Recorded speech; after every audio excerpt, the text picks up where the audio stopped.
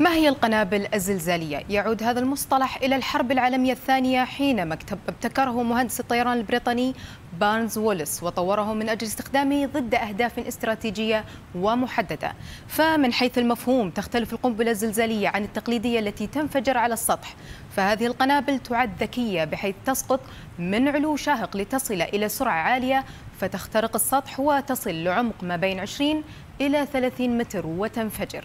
هذه الطريقة تزيد حجم الانفجار تحت الأرض وتسبب كهوف وموجات صدمات شديدة وبذلك يمكن أن تؤثر القنبلة الزلزالية أو الارتجاجية كما تسمى على أهداف ضخمة وصعبة.